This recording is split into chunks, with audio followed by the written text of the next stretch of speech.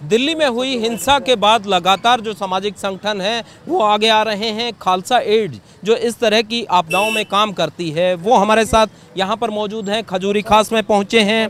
Sir आप लोग यहाँ पर पहुँचे हैं। किस तरीके से इस काम को आप लोग यहाँ पर अंजाम दे रहे हैं? किस तरीके से चीज़ों को आगे बढ़ा रहे हैं? किस तरीके से नॉर्मल पटरी पर एक बार फिर से लाइफ आए उसके लिए काम कर रहे हैं?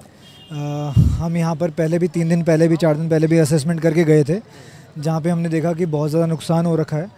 तो उस नुकसान को देखते हुए हमने जो भी शुरुआत में सिर्फ़ बिस्किट्स और दूध और पानी की बोतलें, सिर्फ़ हमने शुरुआत में सिर्फ़ वही सप्लाई किया था। और अभी हम उसके बाद देख रहे हैं यहाँ पे लॉयर्स की टीम भी आई हुई है।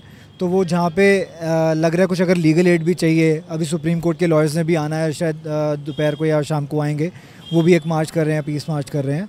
और उसके बाद हम देख रहे हैं कि कोई भी जैसे दुकान या कोई रेडी किसी की जली है वो असेसमेंट करेंगे, जो भी हम अपनी तरफ़ से कुछ भी शुरुआत कर पाएँगे, उनको थोड़ा सा होता क्या है, इस सिचुएशन में अगर कोई भी उनके साथ आके खड़ा हो जाए तो उनको थोड़ा सा एक मोराल थोड़ा बूस्ट होता है और लगता है कि चलो हमारे साथ भी कोई खड़ा है।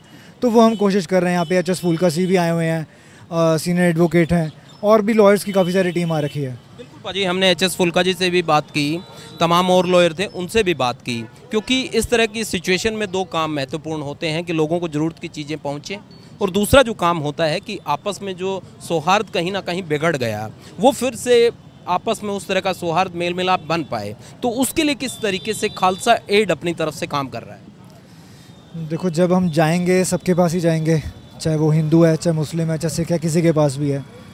वो देख के शायद कोई समझ जाए। बाकी बात करेंगे उनसे, कोशिश करेंगे उनकी कुछ काउंसलिंग कर पाएँ।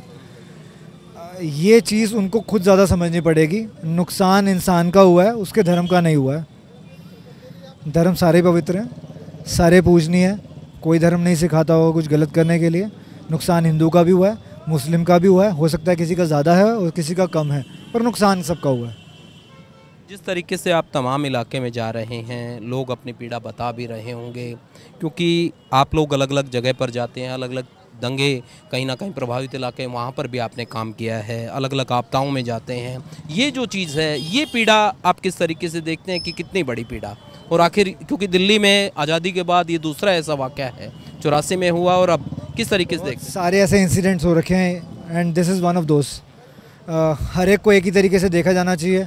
नेता शायद कुछ आके और कुछ लोग ऐसे जिनको लगता है कि ज़्यादा एक्सट्रीमिस्ट हैं, वो ख़राब करके जाते हैं। और उन्हीं के बीच में कुछ ऐसे लोग आते हैं जो मिसाल बनते हैं। तो हम भी यही कोशिश कर रहे हैं कि कुछ ठीक हो जाए।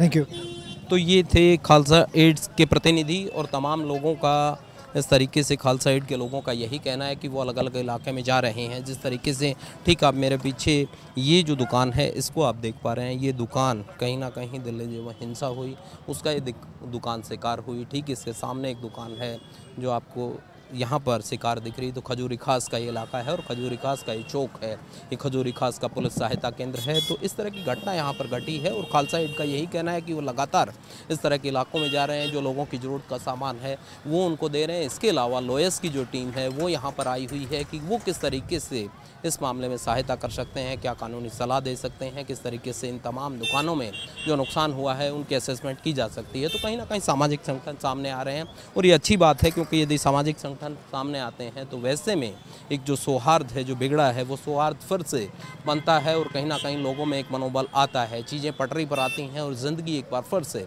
दौड़ने लगती है तो कहीं ना कहीं वही कोशिश है तमाम लोगों की।